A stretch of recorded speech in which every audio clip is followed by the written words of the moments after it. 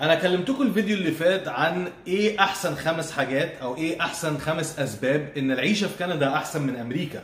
بس أنا برضو ما قلتلكش إيه خمس أسوأ أسباب إن العيشة في أمريكا أحسن من كندا.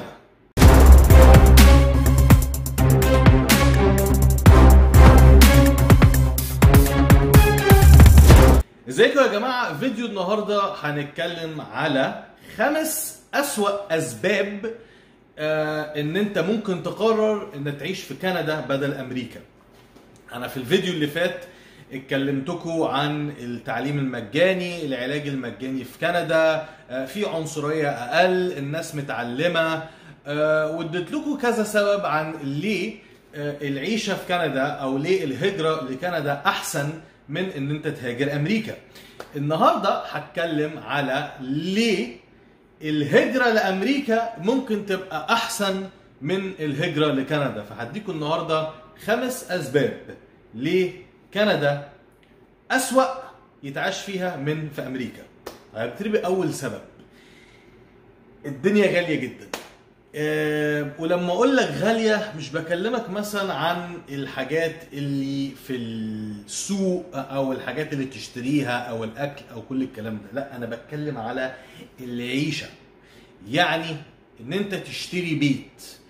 الإيجار فيها عادي على حسب برضه بيفرق أنت مأجر فين وأنهي ولاية. دي المشكلة.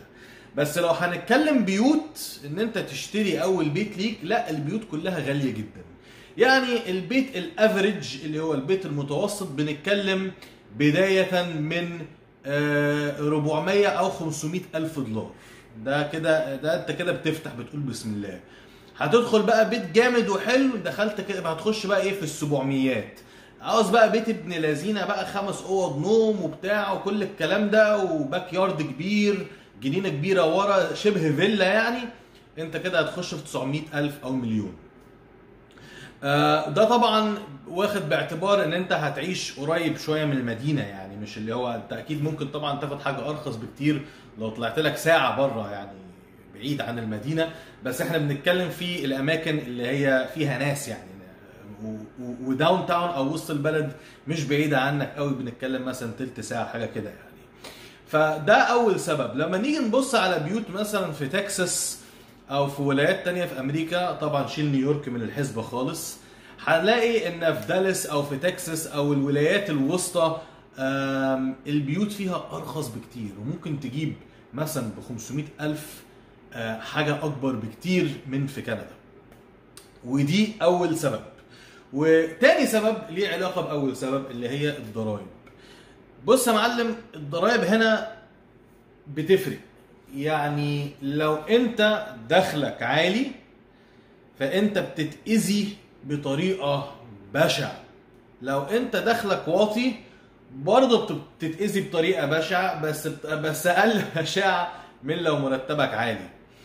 الضرايب هنا لو انت مثلا بتعمل فوق ال 150 ألف 200 ألف فأنت كده يا معلم دخلت في أعلى براكت اللي هو تقريبا ما بين 49 و52%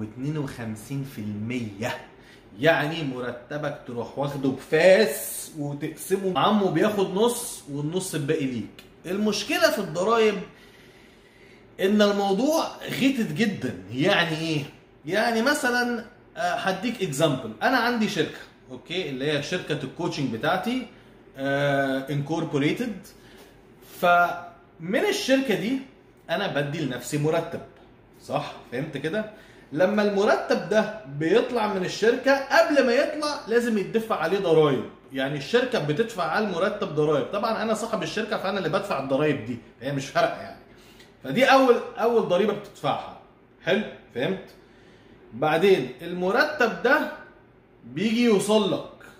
لما بيوصل لك أنت بتدفع على المرتب دي. على المرتب ده ضريبة.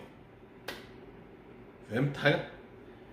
مرتب بيطلع من الشركة الشركة بتدفع عليه ضرائب المرتب بيوصل لك وبيوصل لي أنا يعني أنا بدفع لنفسي بروح أنا دافع على المرتب ده الضريبة بتاعتها. ال 50% بقى أو ال 49% بتتشال من المرتب لما بيوصل لي. والمرتب اما بيطلع من الشركة ليها برضو حسبة تانية 14 ما بين 20% الموضوع معقد شوية يعني. بس أنا بديك فكرة إن العملية شغالة إزاي. طبعا أنت لما تيجي تشتري أي حاجة بتدفع عليها ضرائب وبعدين بتدفع ضرائب على المرتب بتاعك. كل حاجة فيها ضرائب هنا. كل حاجة فيها ضرائب هنا. لو عاوز تطلع هتدفع ضريبة على الطلاق. فالموضوع كريزي شوية يعني في الضرائب فدي المشكلة الثانية في كندا. المشكلة الثالثه إن فيها فرص أقل شغل من أمريكا. آه يعني من الآخر كده النجاح في كندا أصعب بكتير من في أمريكا. ليه؟ لأن أول حاجة سكانها أقل. تاني حاجة اللغة. هديك مثل في كيوباك عندهم قوانين إن كل حاجة لازم تبقى بالفرنساوي. فده اللي بيحصل. الشركات الكبيرة بتطفي ال mood بتاعها من الموضوع ده. هتقول لك هو أنا آخد شركتي ليه الأمريكية وافتحها في ولاية كل حاجة لازم تبقى بالفرنساوي والموضوع معقد أكتر. فده بيبعد investors كتير مستثمرين كتير. بيبعد مستثمرين كتير من إن هم يفتحوا مشاريع كتيرة في كيوباك ولاية كيوباك وفي ولايات تانية برضو بتتكلم فرنساوي زي نيو برانزويك مثلا يعني. فبتلاقي معظم الاستثمار في ولاية واحدة اللي هي تورونتو أو بريتش كولومبيا. المشكلة في بريتش كولومبيا إيه؟ إن الصينيين أو الآسيويين حولوا فلوسهم أو هربوا فلوسهم بإن هم فتحوا مشاريع وعقارات في بريتش كولومبيا. فده اللي بيحصل. كل حاجة بتبقى عالية جدا بس الأعمال اللي هي مفتوحة زي ما تقول إيه front يعني وش بس منظر بس عشان هم يحولوا فلوسهم عشان يهربوها. ففرص العمل قليلة جدا وبعدين أصلا الإيجارات عاليه عالية جدا جدا جدا لأن الآسيويين اشتروا كل حاجة. وعملوا نفس الموضوع في تورونتو وبيعملوا دلوقتي نفس الموضوع ده في مونتريال. فغير إن فرص العمل أقل أنت أصلا مش لاقي مكان تسكن فيه. ولو لقيت مكان تسكن فيه في تورونتو مثلا بيبقى غالي جدا جدا جدا. يعني غالي أرقام هبلة يعني مش مش مناسبة إن واحد يعيش فيها. فأنت تخيل مفيش فرص شغل آه ليه؟ لأن السكان أقل والكنديين عشان الإيجارات عالية جدا فمش بطبعهم إن هم يصرفوا كتير. يعني تلاقي في أمريكا لا الناس جاهزة يا معلم يلا التلفزيون ال 70 إنش الجديد نزل نروح نجيبه على طول. في كندا مفيش ال mentality دي طريقة التفكير مش موجودة هنا في كندا. فعشان في صرف أقل ففي استثمار أقل في البلد لأن الناس reserved شوية conservative أكتر من ناحية الصرف. ففرص العمل أقل وبيبقى أصعب إن أنت تبتدي البيزنس بتاعك إن أنت تبقى رائد أعمال بيبقى أصعب بكتير. ليه؟ لأن مفيش ناس قد كده جاهزة إن هي تدفع فلوس لخدمات مش أساسية في حياتها. فهمت؟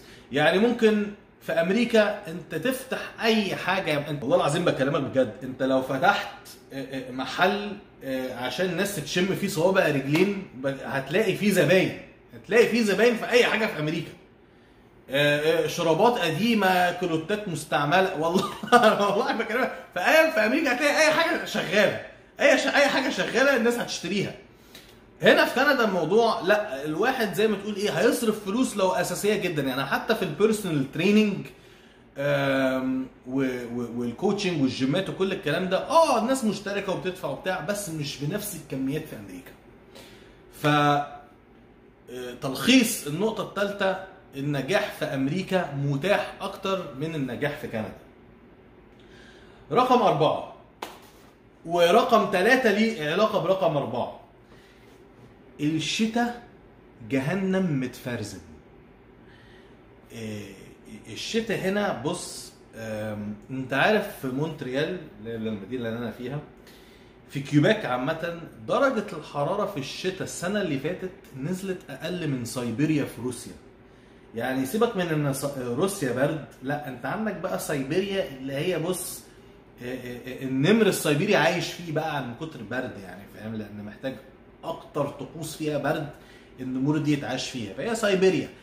إحنا درجة الحرارة بتاعتنا نزلت تحت سيبيريا السنة اللي فاتت، يعني أنا ماشي في الشارع لو بطريق طلع لي أو دب قطبي مش هتصدم. يعني هتبقى حاجة متوقعة طبيعي. يعني آه أنت okay لقيت مكان تاني تعيش فيه غير غير فوق في الشمال فاهلا بيك يعني. حاجة حاجة متوقعها جدا. البرد في الشتاء هنا مش طبيعي وطويل بيطول. ما بيخلص بيقعد. تقول الشهر الجاي خلاص الش- الشمس هتطلع والشتاء والحاجات هتسيح والورد هيطلع. لا بيبقى برضه متفرزن. كل حاجة متفرزنة. يجي شهر أربعة هتقول يا مسهل بقى يلا بقى ها شوية مطرة كده التلج يسيح شوية شمس. لا بيكمل وبيفضل شغال. شهر خمسة بيجي بقى تبقى متفائل. هتقول خلاص بقى الشتاء خلص ما بيخلص. إحنا كان عندنا من أسبوعين إحنا دلوقتي إيه في داخلين على شهر ستة. من أسبوعين يعني نص خمسة الحرارة وصلت لغاية واحد. مش مش عارف ليه. وبعدين شوية تلج نزل. فحاجات غريبة كده بتحصل فاهم؟ فبسبب الجو ده العيشة هنا ممكن تبقى كئيبة جدا جدا جدا. ست أشهر. أنا بص مش هكدب عليك. الصيف في مونتريال بالذات آه، جنة على الأرض. ودي حاجة ظريفة وحاجة مهمة. ليه؟ لأن ده معناه إن في الصيف بيبقى عندنا آه، مهرجانات كتير. فورميلا 1 بتاعت السباق بتيجي من من كل الولايات بكندا بتتعمل في مونتريال كل سنة. الحفلات ال concerts ال- ال- ال- آم، ال bands وكل ال- المطربين ال- الأجانب يعني والباندات الكبيرة بيجوا أكتر أماكن بيغنوا فيها تقريبا مونتريال أو كيباك. حتى ميتاليكا لما جم كندا جم في كيباك عشان يعملوا الحفلة بتاعتهم. ليه ده ليه علاقة بإن سهرات أكتر ومهرجانات أكتر وكل الكلام ده؟ فمونتريال في ال- في ال- في الصيف أحلى. جنة على الأرض. بكلمك بجد جنة على الأرض. أما الشتاء فالشتاء بيطول جدا جدا. وبسبب إن الشتاء طويل ده نرجع لسبب ثلاثة ما فيش مستثمرين عاوزين يدفعوا فلوس إن هم يفتحوا أي business هيقعد مثلا أربع خمس شهور طب وبقية السنة. لأن مش كل ال business ال- مش كل ال- ال- businesses بتبقى حاجات indoor لا في حاجات outdoor تراس بتاع فاهم؟ يعني أنا بصراحة جات لي فكرة إن أنا كان نفسي أفتح آه عارف عندنا في مصر توت إكسبريس لو أنت فاكره في في ميدان فيني. آه آه، لا عيب عليك أنا فاكر كل حاجة. ما تغركش يعني.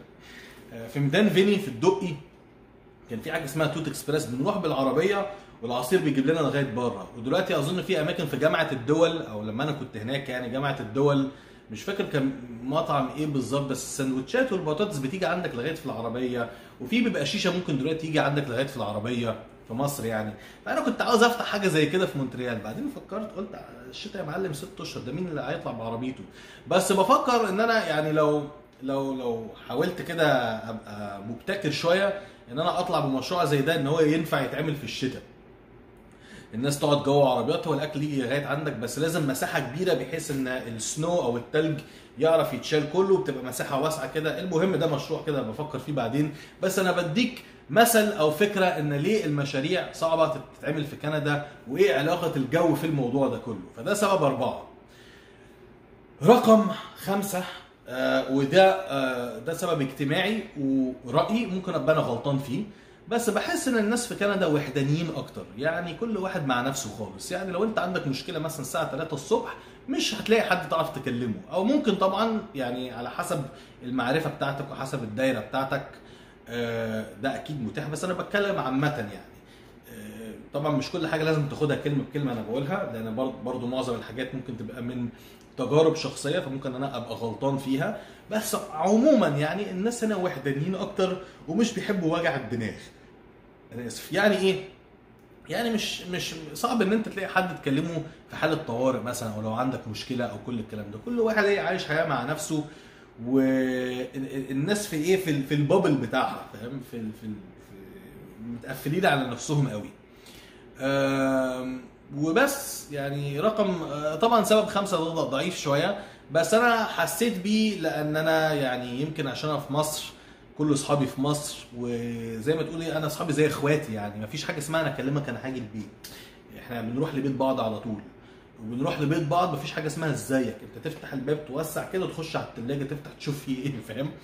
آه ودي كانت أحلى أيام بصراحة عشتها يعني. لما كنا في مصر بعد ما اتخرجت قبل ما اتجوزت وسافرت كان في ثلاث شهور كده بص كانت نعمة. كانت نعمة. كانت حياة دافية. كانت حياة دافية ودايرة دافية وأعرف أعتمد على ناس.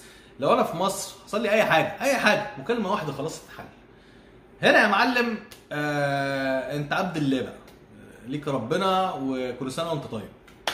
أتمنى إن الفيديو ده عجبكم. please اعملوا subscribe وطبعا دلوقتي عندك إيه؟ الجزء الأول والجزء الثاني لو ما شفتش الجزء الأول على خمس أحسن أسباب إن أنت ممكن تيجي تعيش فيها في كندا يا ريت تخش على ال link وتتفرج على الفيديو وتعمل subscribe please ويا جماعة للبرامج المخصصة. خش في ال link ده وسايب لكم ال link برضو في ال comments شكرا. نشوفكم إن شاء الله في الحلقة اللي جاية. Hey, easy, easy.